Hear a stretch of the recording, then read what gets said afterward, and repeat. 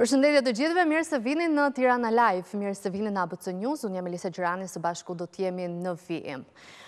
Vijon numërimi i votave për këshilltarë bashkiakë në një sërë bashkish, kam këtu parasysh 5 bashki të qarqeve të ndryshme të vendit, Esiona Konomi është pozicionuar pranë KQZ-së për t'na dhenë më tepër detaje lidhur me projeksionin e numërimit deri në këto momente. Esiona të përshëndes. Përshëndetje, Elisa. Nëse mund të bëjmë një rezyme si fillim në 5 bashkitë ku vijon numërimi?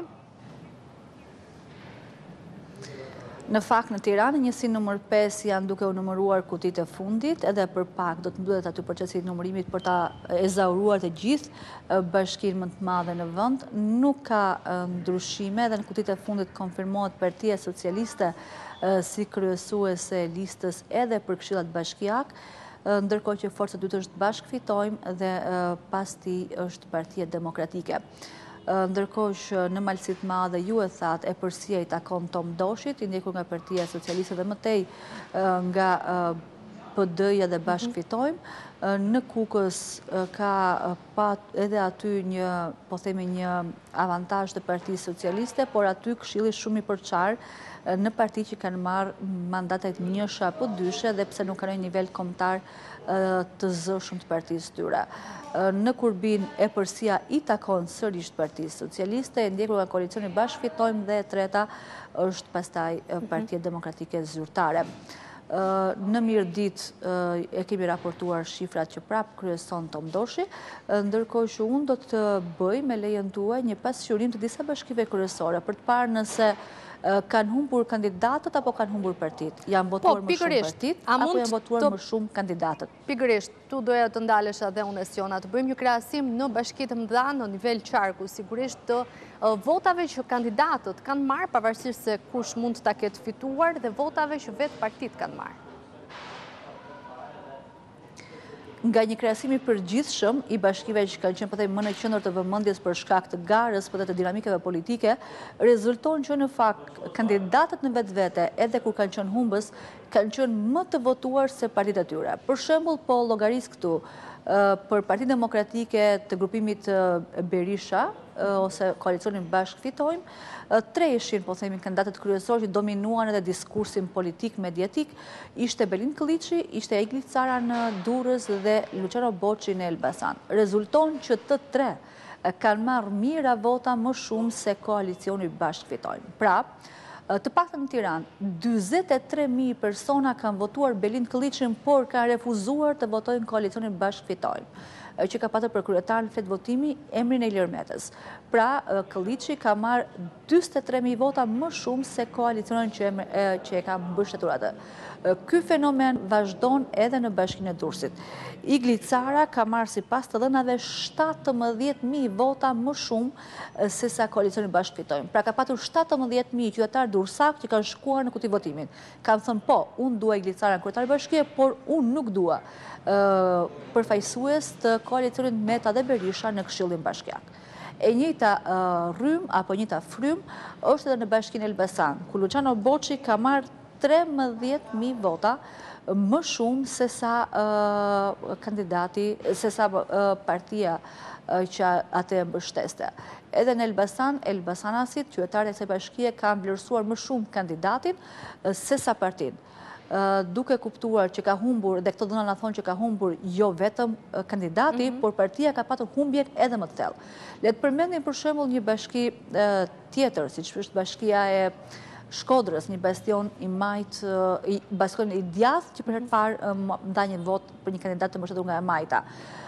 Vëmë re se Bardh Spahia ka marrë 9.000 vota më shumë sesa partia e tij, pra koalicioni Bashkë Fitojmë. Pra nëse themi që ai humbi, Bashkë Fitojmë koalicioni ka humbur shumë më thellë. E nëse themi që Benet Beci fitoi, në fakt Benet Beci ka fituar jo vetëm në raport me opozitën, por ka fituar edhe në raport me partinë e tij socialiste, pasi Benet Beci ka marrë vota më shumë 16.000 vota, ose më shumë se 16.000 vota, sesa partia socialiste. Të njëjtën gjë mund ta themi në Tiranë edhe për Erion Veliajn. Ai ka marrë 13.000 vota, deri më tani sa janë kanë kuruar, se pasi janë dhe 8 mhm. kutitë e fundit, Trembëdhjetë mijë vota më shumë sesa Partia Socialiste, trend që konfirmohet edhe për kryebashkiaken e Durrësit në rreth pesë mijë vota, në rreth katër mijë vota në Elbasan apo edhe në bashki të tjera siç është për shembull Rakip Suli në Kamëz që ka marrë shtatë mijë vota më shumë se partia. Pra votuesit nuk e lidhin domosdoshmërisht kandidatin me partinë që atë e mbështet edhe kanë vlerësuar më shumë kandidatin sesa partinë. Kur ka ardhur puna te partia, vota ka shkuar edhe për partitë e vogla, edhe për parti që nuk janë domosdoshmërisht partitë për të cilën është mbështetur kryetari, kandidati për kryetar parti, kryetar bashkie. E kuptoj, të falënderoj shumë Esiona Konomi për këtë raportim.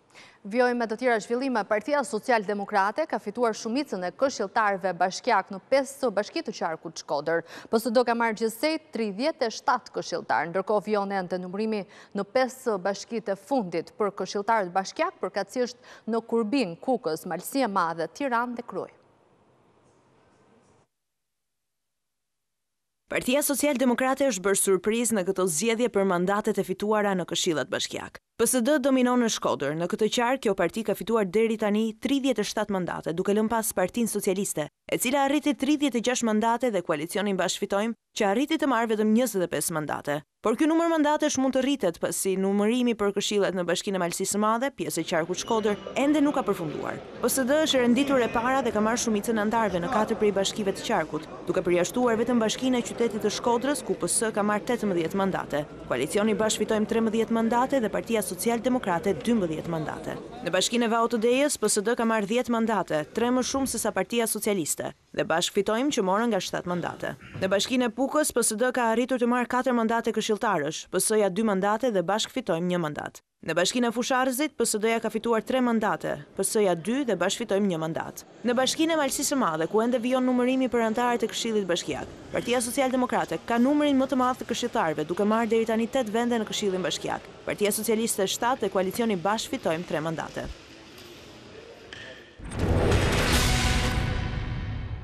Dhe për të diskutuar për rezultatet dhe jo vetëm, në këto momente do të ndalemi në bisedën e ditës në Tirana Live. Kam kënaqësinë të kem zotin Fatbardh Kadilli, ish-kandidat për kryetar i PD-së. Faleminderit që jeni me ne. Faleminderit për ftesën. Si ju duken rezultatet e këtyre zgjedhjeve, megjithëse aty-këtu, pak a shumë, i kishit parashikuar edhe në studion tonë? Është e vërtetë, i kemi biseduar javën e fundit edhe në studio këtu dhe humbja kaloi dhe ato pritshmëritë më më skeptike që mund të ketë, mhm, pas kushdo.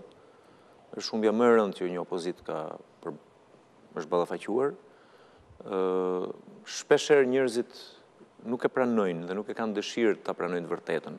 Kjo nuk ishte nevojë të vinte dita e votimit për këdo që e ndjek dhe e kupton zhvillimin e politikës, Pra unë nuk bëra profetin apo parashikuesin falltar, unë thjesht analizova situatën, dhe duke parë situatën dinamikën, kuptova se çfarë po ndodhte. Po Por, e thëna e të vërtetës, dhe këtu kam thënë dhe përsëris, mund të mos ju pëlqejë shumë njerëzve kur e dëgjojnë, është e hidhur, po unë besoj që është më e shëndetshme e vërteta, qoftë edhe e hidhur, sesa e pavërteta. Është më e drejtë që dikush që beson tek e vërteta të marri sakrificën dhe ta thotë, edhe pse dëmtohet ndoshta dhe dhe fiton pak kënaqësinë e atyre që i ka mbështetës, se sa të bëj gënjeshtarin apo manipulatorin e, e të vërtetës duke e kthyer atë në një gjë të pranueshme po në mënyrë artificiale. Pra, unë kam preferuar t'i them opozitarëve të vërtetën, edhe pse e di që kjo ka kosto personale në afat shkurtër. Unë kam preferuar të them të besoj të, të kërkoj të vërtetën dhe jo gënjeshtrën. Vetëm pak çaste më parë, zoti Meta ka përmbyllur takimin e tij prej disa minutash me Berishën në selinë e uzurpuar prej tij tanimë. Por, në deklaratë për mediat, Meta nuk pranon humbjen, ka thënë që do të nisim procesin e kontestimeve ligjore. Një gjë e pritshme kjo? Gjithmonë ka në Shqipëri ka refuzim për rezultatin nga humbja, dhe jo pa të drejtë, gjithmonë ka kontestime në shkelje, ata që janë në pushtet gjithmonë abuzojnë, me mjetet e pushtetit, me intimidimin që të krijon pushteti, me forcën e paras që të grumbullon pushteti, qoftë edhe me botën e krimit, që bashkëpunon me pushtetin. Dhe ky është vendim i tij. Për të mbijetuar në politikë, Ilir Metës e Sali Berishës i duhet të krijojnë alibinë dhe të kapen mbas alibisë, ashtu edhe mbas provave të përballjes me shtetin dhe të refuzojnë reflektimin. Ata vetë nuk duan të reflektojnë. Ata që i rrinë nga mbrapa dhe janë të zëshëm nuk pranojnë të reflektojnë sepse shpresojnë që diçka do t'u dalë në këtë aktivitet. Reflektimin e parë e pati shoqëria që i refuzoi. Shoqëria e kuptoi që nuk ishin ofertë. Në përballjen midis pushtetit arrogant, të korruptuar, të konsumuar, të dështuar në shumë aspekte, një pushtet që nuk i jep shqiptarëve atë që ju takon, shqiptarët për t'u mbrojtur nga ky pushtet nuk zgjodhën për mburojë Ilir Metën dhe Sali Berishën. Ata do jenë mburoja në treg gjithmonë, nuk kanë ndërmend ta mbyllin dyqanin e tyre politik, Ata që i ndjekin dhe i furnizojnë me argument politik, duhet të marrin një vendim. Do të vazhdojnë të thonë gjysëm të vërteta, çerek të vërteta, ose njëqind për qind të vërteta, do zgjedhin se çfarë do thonë, apo do rrinë të maskohen mas pavërtetës. Është zgjedhje personale, zhvillimet politike në vend nuk i menaxhojnë dot ata që shesin pavërteta. I provokojnë ata që shesin të vërteta. Mbase vuan, po dikur do të vijë. Jam i bindur që politika e tanishme ka nevojë për një reflektim dhe unë nuk shqetësohem më as se çfarë bën zoti Berisha, as se çfarë bën zoti Meta, apo zoti Basha, apo kushdo tjetër. Shqetësohem si njeri që jam në opozitë me këtë pushtet, shqetësohem si do të dalim të krijojmë një instrument politik ku çdo opozitarizëm, çdo frymë e opozitarizmit të jetë kontribuse. Nuk mjafton as rinovimi i një partie, mhm. sa që as dorëheqja e këtyre nuk mjafton. Sepse edhe këto dy parti që u grupuan janë parti personale.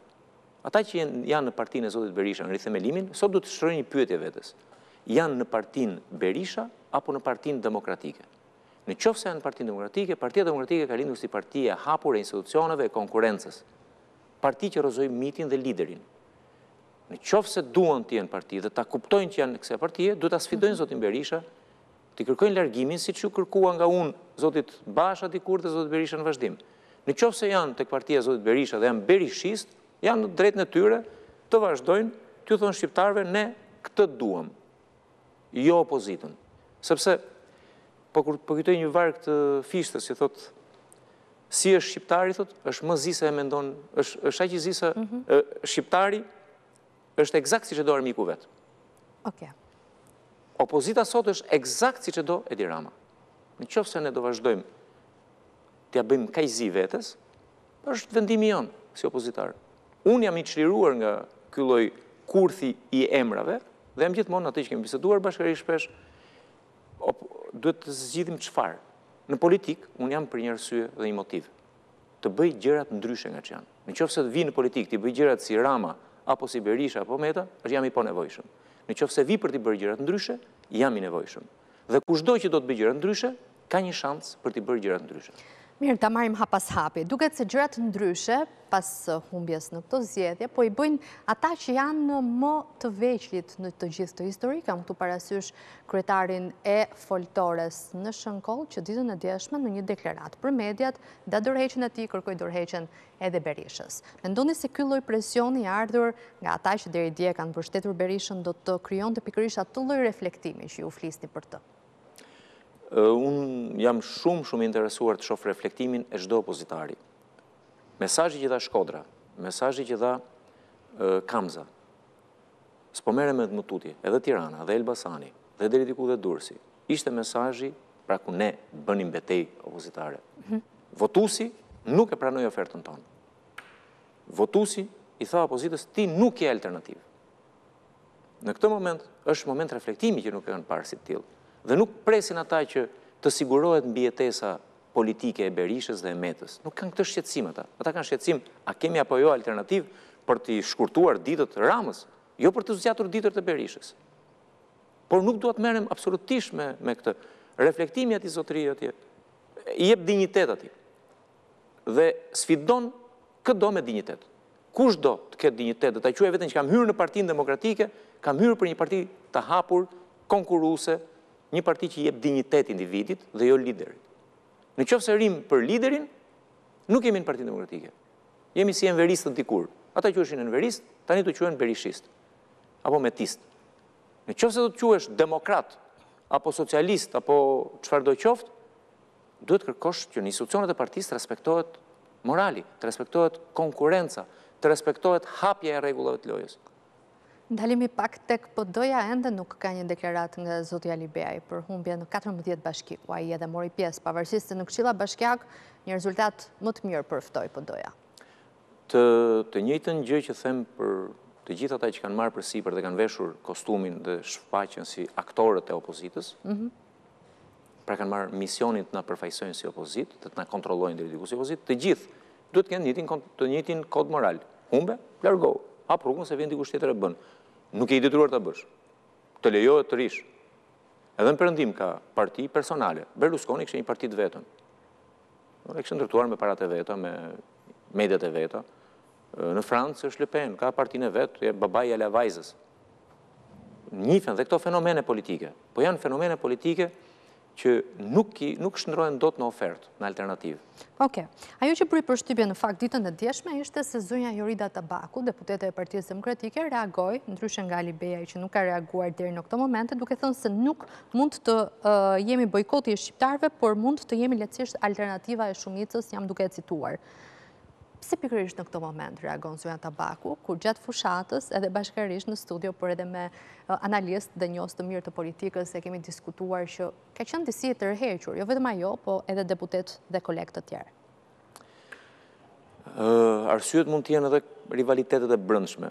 Bashkohem me zonjën Tabaku në një pikë që zoti Alibeaj, se mbase u duk sikur nuk e dhashë përgjigjen e plotë në pyetjen tënde të parë, urgjentisht duhet të japë dorëheqjen, do të jepte dorëheqjen në qoftë se respekton një kod moral. Në qoftë se u nda partia dhe iku nga Berisha, sepse u nda nga modeli berishist, partia nuk mund të bëhet me një kopje të zbehtë të berishizmit që u quajtka Alibeaj. Drejtove, jep dorëheqjen, largohu. Nuk pate sukses, s'pate fat, nuk ngjite. Janë njëqind milionë arsye, ti mund të jesh njeri shumë i zoti, nuk ecën. Do ta mbash, mbaje po të jesh i zoti. Por nuk i shërben shqiptarëve. Që i shërben vetes, po. Zonja Tabaku nuk jep një propozim konkret, jep thjesht një thirrje të përgjithshme. Çdo thirrje që ka reflektim brenda i bën mirë shqiptarëve. Po pra, po mbase ky reflektim duhet të kishte ardhur edhe në kohën e duhur, po. Atëherë unë nuk jam dakord, po mundohesha ta evitoja sepse shpesh herë matem se më duket sikur dëmtoj më shumë opozitën kur flas edhe më konkretisht. Nuk jam dakord fare me ata politikanë që fshihen mbas gishtit dhe nuk e kam vetëm me zonjën Tabaku, e kam me shumë. Presin të ndodhin ngjarjet dhe pastaj dalin të flasin. Në politikë unë kam hyrë, siç e përsëris, me vullnetin për t'i bërë gjërat ndryshe dhe nuk kam hyrë të më drejtojnë ngjarjet. Kam hyrë t'i provokoj ngjarjet. Sepse ngjarjet e sjellin ndryshimin dhe ngjarjet nuk flitet mbrapa, flitet përpara. Dhe unë po flas sot. Një nga akuzat të cilave nuk kisha ndonjë përgjigje të madhe t'u jepja në 2021-shin kur sfidova Bashën ishte pse s'fole. Respektova lojalitetin partiak. Kisha folur në parti. Basha i pari e dinte më mirë se kushdo. Berisha padyshim se Basha e raportonte, kuptohet. Mbase edhe më mirë se sa dinte Basha. Por, kishin një të drejtë morale, pse s'kisha folur. Nga ai moment, kam vendosur t'i them gjërat në kohën e duhur, t'i them gjërat përpara, të paralajmëroj shqiptarët, po ndodh kjo, mos u gënjeni nga çfarë ju thonë. Mhm. Do ndodhë kjo, që të jetë pozitive? Duhet një pozitivitet që vjen nga disa gjëra. Nuk fitohet politika me kalkulim, nuk fitohet politika me kulis, as me skemë. Politika do vërtetësi. Njerëzit të ndjejnë sa i vërtetë je. Mund edhe t'i bezdisësh një moment. Mund edhe t'i thuash një të vërtetë të dhimbshme që nuk duan ta dëgjojnë. Është si t'i thuash një njeriu që ka një cen, t'i përmendësh mhm. cenin. Pra, nuk i pëlqen atij t'ia thuash. Dikujt që ka trup të shkurtër, nuk ka nevojë, nuk ka nevojë t'i thuash je i shkurtër. E ka. Por unë preferoj t'ia them, mjafton mos jetë bullizëm. Unë nuk e bullizoj elektoratin demokrat. Unë po i them hap sytë. Unë nuk e bullizoj opozitarin, unë i them hap sytë, sepse sot në opozitë nuk është vetëm ai që ka votuar për opozitën. Në opozitë është dhe ai që ka votuar Partinë Socialiste, sepse nga nesër do shkojë te Benet Beci t'i kërkojë shërbimin që i premtoi. Ai është lëndë opozitare. Po kjo lëndë opozitare, kur të vijë momenti do zgjedhë midis njërit mhm. dhe tjetrit. Oke, shumë e kanë krahasuar këtë rezultat që aktualisht ka marrë opozita me humbjen e 2017-ës të Zotit Basha. Kush mendoni se e dëmtoi më shumë PD-në, thelbin e PD-së, Basha apo Berisha? Në rezultat, ky është dhe më i dobët se 2017-ës, në 2017-ën ne kemi marrë 450.000 vota si subjekt, si mhm. parti demokratike. Kësaj radhe i kemi 500 mijë me gjithë LSI-në, ose partinë e Metës, pra jemi edhe më keq. Ishte koalicioni me Metën që bëri Berisha përcaktuese e kësaj humbje?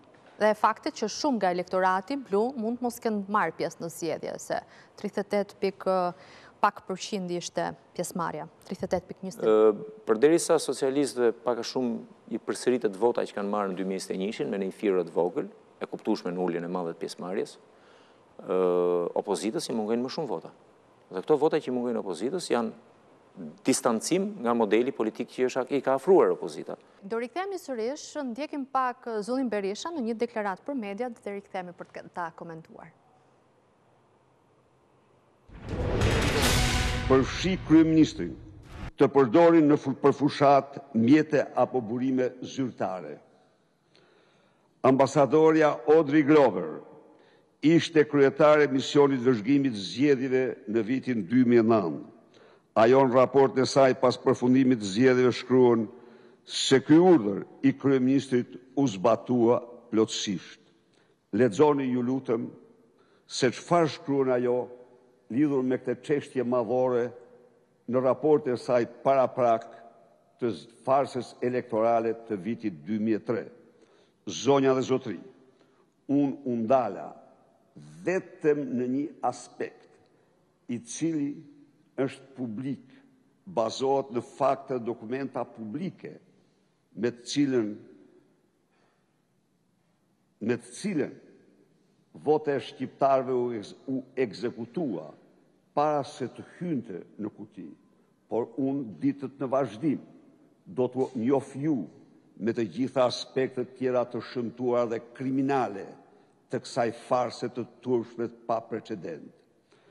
Duke mbyllur, Duke shprehur atë bindje që shpreh se me Edi Ramën zgjedhje nuk ka dhe se këtë çdo shqiptar që dëshon ose beson se shteti ligjor, se ekonomia e tregut, se e ardhmja garantohen vetëm me votën e lirë, duhet të bëjmë gjithçka për të larguar këtë armik të egër të votës së shqiptarëve. Duke thënë këto, garantoj çdo demokrat e demokrate, çdo qytetar dhe qytetare, se analiza e të gjithë veprimtarisë elektorale të Partisë Demokratike do të jetë një analizë e plotë e thelluar pa asnjë hezitim, në përputhje me të gjitha normat që ne kemi, por, por, asgjë, asgjë nuk mund të, të maskojë as dhe, as dhe miriada e, e turpshme e, e, e, e, e trillimeve propagandistike që bëhet sot nga zelltarë, lajkatarë, lëpirës të qeverisë, të cilët lavdrojnë, mbrojnë, avokatojnë një fitore falso të turpshme, kriminale, të një votimi të një procesi të inkriminuar fund e krye, për të cilën jam i bindur se shqiptarët do të thonë fjalën e tyre. Faleminderit, jam i hapur për pyetje.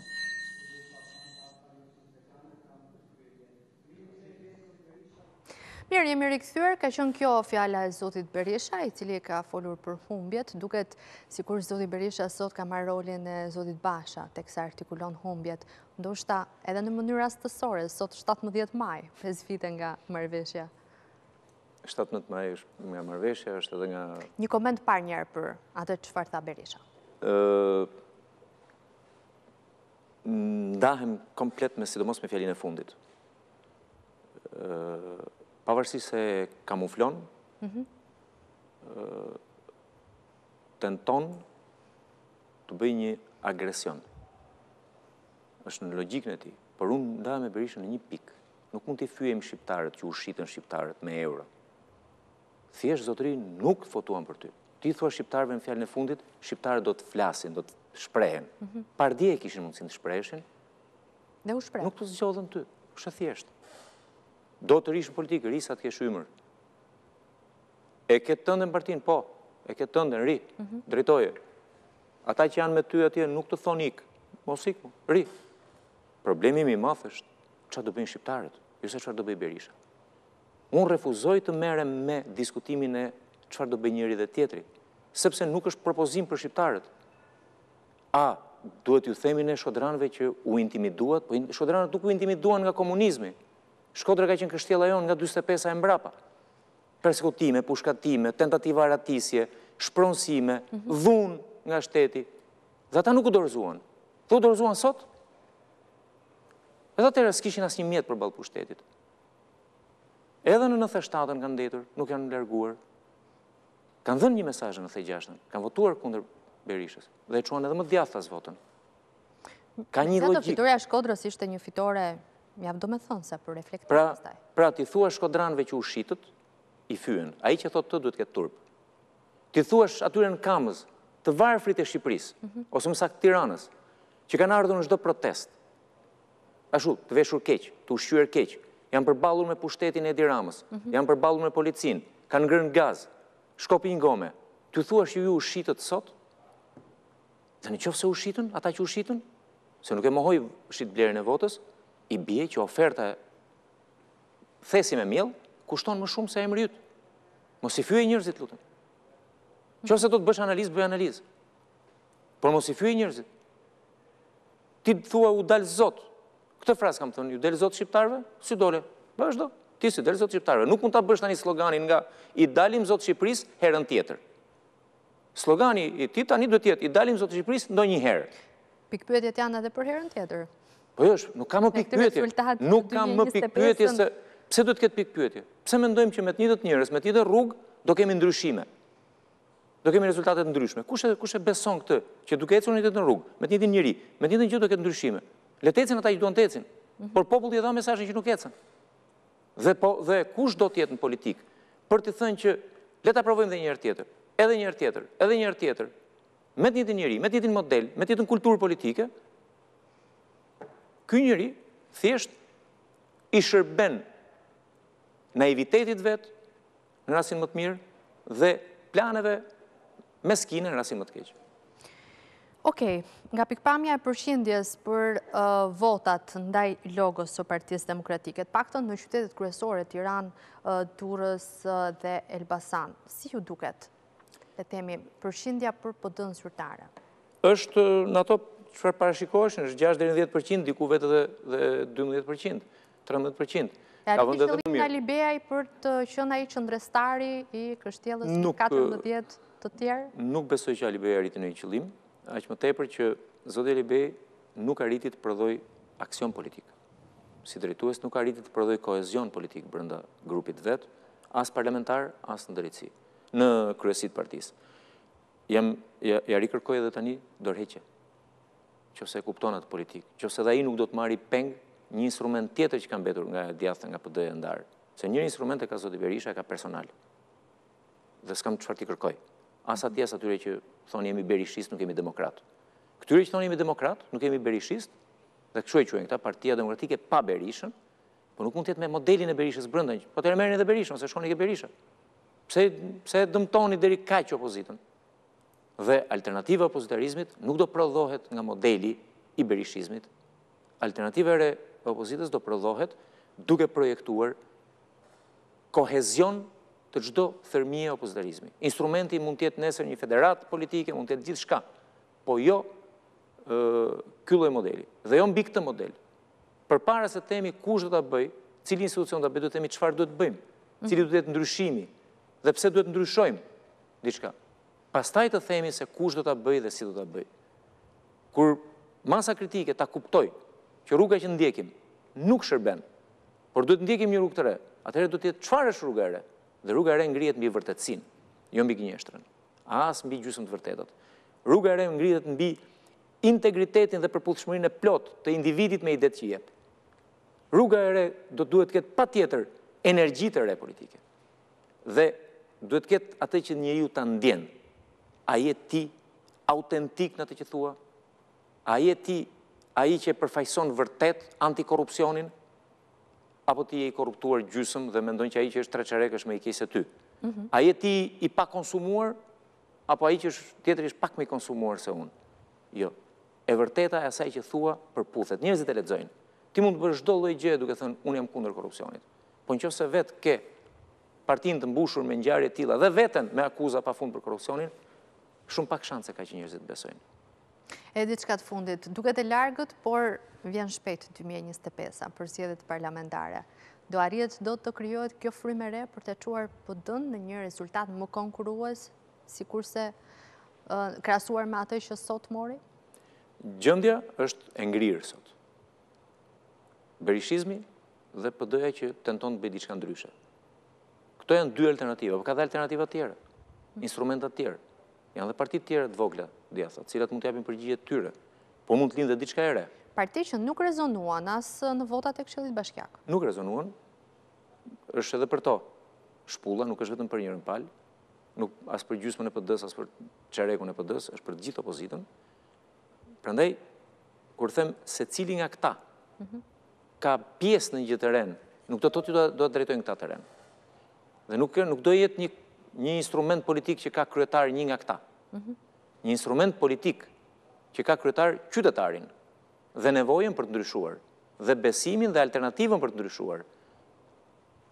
Nuk ka rëndësi jam unë apo është dikush tjetër. Ai që duhet të jetë, duhet të jetë i vërtetë. Nuk duhet të jetë fshehur mas kulisave, nuk duhet të ketë bërë llogari, me kandil në dorë, mhm. nuk duhet të ketë ndejtur mbrapa duke pritur, të mbarojë lufta pastaj të dalim si trim mbas betejës apo i mençur mbas kuvendit, mhm. Kuvendi dhe beteja janë aty përpara. Kjo është ajo që pritet. Dhe unë jam e bindur që dy vjet nuk janë pak, por nuk janë as shumë. Ne duhet të punojmë që sot, secili. Unë jam e vendosur të vazhdoj aksionin politik, gjërat do t'i shikojmë në kohë, do ftohen kokat e nxehta, do bien pasionet e emocioneve të humbjes, do realizojnë edhe ata që kanë besuar sado pak ke ndryshimi në këtë projekt që u konsumua, që nuk vjen ndryshimi, do kuptojnë që nuk të del zot dikush thjesht se bërtet më shumë se të tjerët, të del zot ai të jetë një alternativë përballë Edi Ramës. Të falenderoj. Faleminderit juve. Shkojmë në një shkëputje të vogël, rikthehemi sërish në Tirana Live, qëndroni me ne.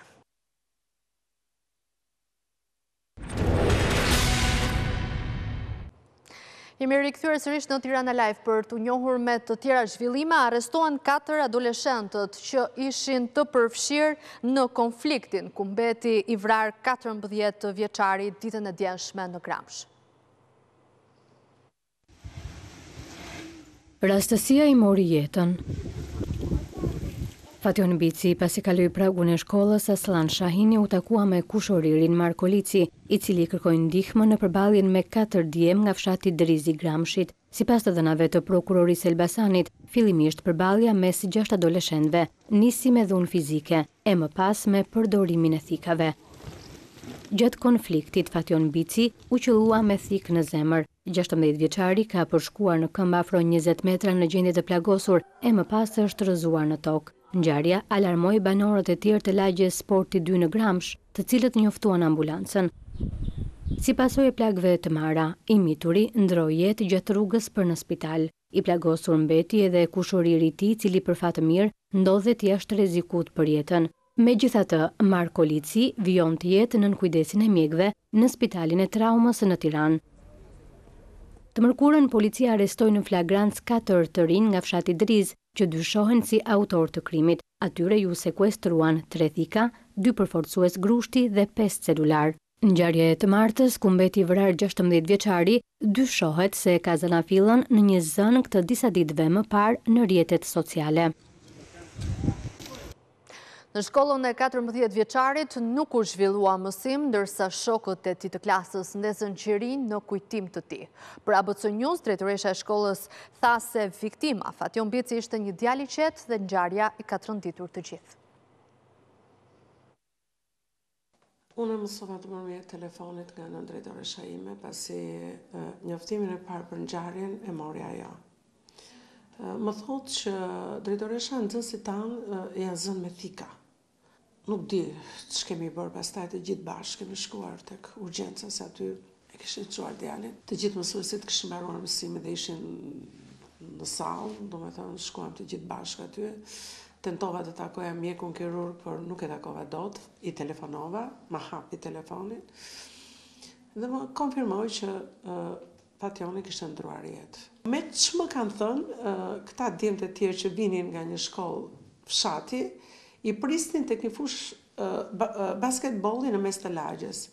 Aty kanë shkuar sipas të thënave gjithmonë sepse nuk mund të flas me me siguri për këtë gjë për të sqaruar një një debat apo zënkë të tyre në rrjetet sociale ka filluar debati me tone të larta aq sa janë shqetësuar banorë të lagjes këtë ma konfirmuan banorë të pallatit ngjitur Madje dikush ka dalë nga ballkon në ballkon dhe ju ka thënë që uleni zërin ç'është kjo që po bëni dhe ka hyrë sërish brenda. Pas dhjetë minutash vetëm është dëgjuar përsëri thirrje ulëritëse nga nga Marko që ishte aty, se ai mbeti, të tjerët u larguan.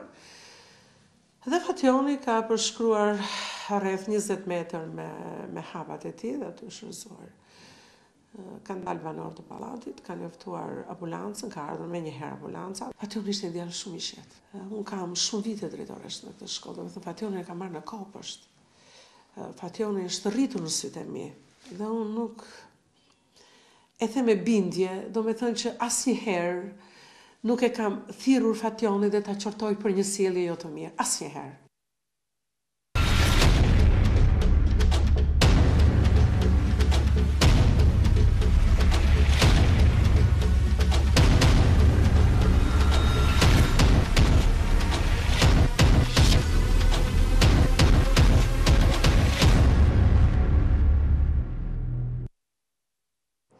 Pas vendimit të gjykatës së Vlorës për masën e sigurisë dosja e Fredi Belerit, kryebashkiaku i zgjedur i Himarës nga zgjedhjet e 14 majit kalon në Prokurorinë e Posaçme SPAK.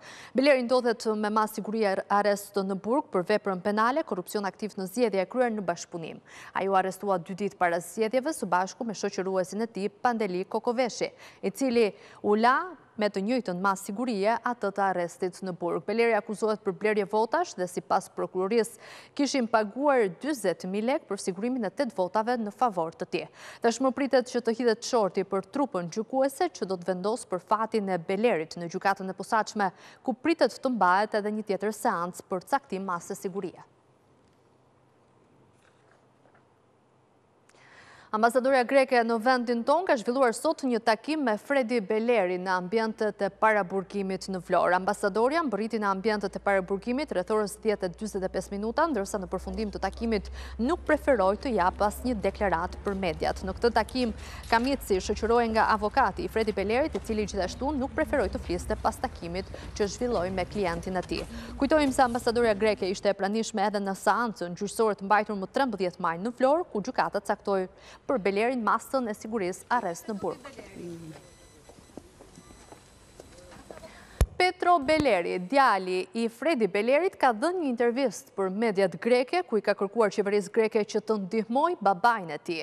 Ai tha se Edi Rama sulmoi prej kohësh babain e tij dhe minoritetin grek.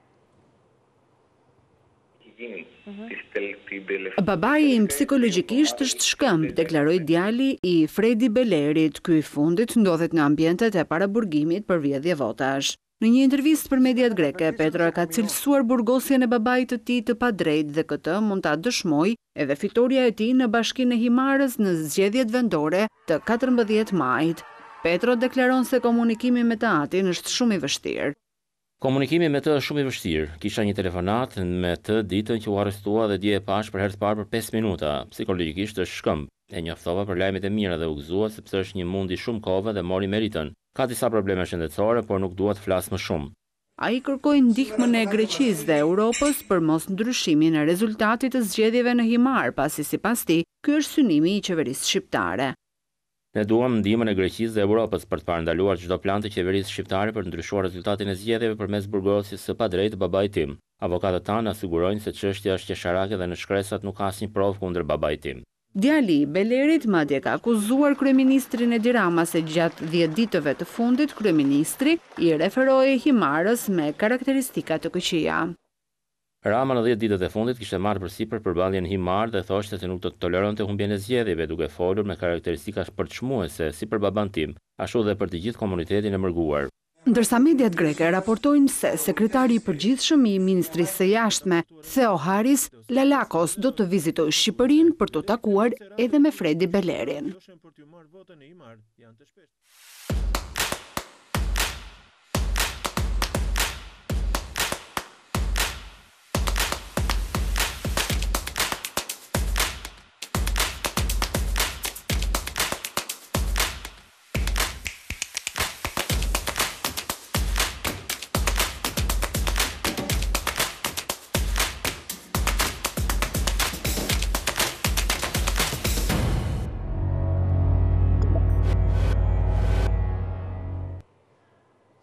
Kryeministri Rama e quajti të padrejtë gjykimin e ish presidentit të Kosovës Hashim Thaçi, teksa ka mbajtur një fjalim në samitin e liderëve të Këshillit të Europës që po zhvillohet në Islandë, Rama tha se gjykimi i Thaçit e ka zanafillën në Asamblenë e Këshillit të Europës për shkak të raportit të Dick Martit.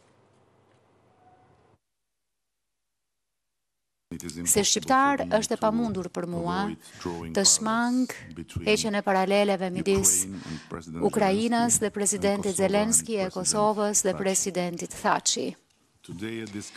Sot në këtë samit të Këshillit të Evropës nuk rri dot pa kujtuar se padrejtësia kundrejt Luftës Çlirimtare të Kosovës dhe udhëheqësit të saj Hashim Thaçit nisi saktësisht në Këshillin e Evropës nën ndikimin dashakeq të ish anëtarit të asaj kohe të këtij këshilli, Federatës Ruse.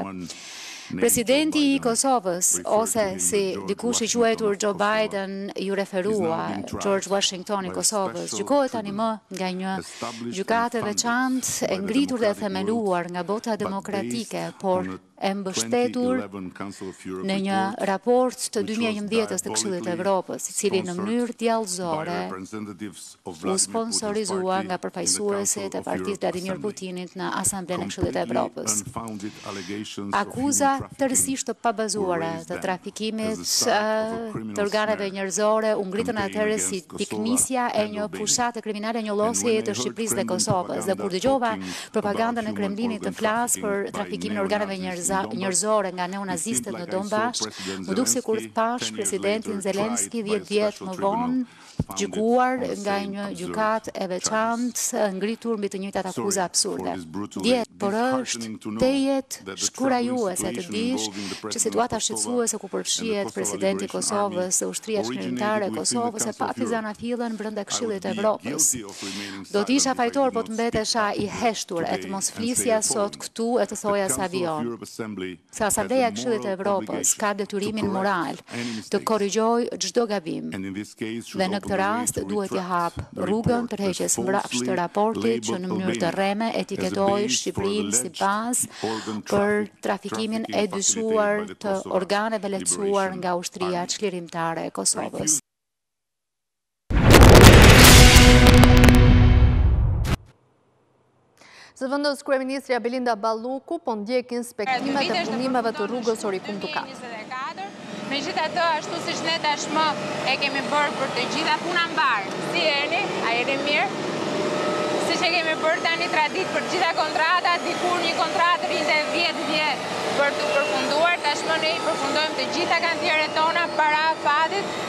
për shkak se të gjitha kantieret që janë të hapura kudo në Republikën e Shqipërisë kanë një rol të rëndësishëm në zhvillimin ekonomik të zonave, siç është rasti i këtij kantieri i cili lidhet ngushtësisht me zhvillimin ekonomik për shkak të sektorit turizmit, pra që lidh portën hyrëse të jugut që është Vlora me pjesën e bregdetit pra Dhërmiun, Himarën etj. Duhet thënë që kjo është një rrugë e kategorisë C dy, por nga ana tjetër ajo që the ti Evis është shumë e rëndësishme. Kjo rrugë Nuk është thjesht një përmirësim i infrastrukturës rrugore, nuk është thjesht një shkurtim i infrastrukturës rrugore, por ka të bëjë në thelbin e saj me sigurinë rrugore. Kthesa pikërisht ku përfundon ky aks i ri, është një nga kthesat më të rrezikshme të Orikum Dukatit, pikërisht për shkak të këndit të mbyllur që ka, ndërkohë këtu me rrugën e re, me aksin e ri, ne thuajse vijmë në një kënd të hapur dhe pa ato kthesat që zakonisht përballeshim. Përveç kësaj, ne kemi shmangur të gjithë zonën, pra Dukati dhe Dukati Fshat ka pasur një zonë që ishte e rrëshqitshme dhe kushdo që kalonte atje e ka vënë re, nuk kemi dhe sot është njësoj.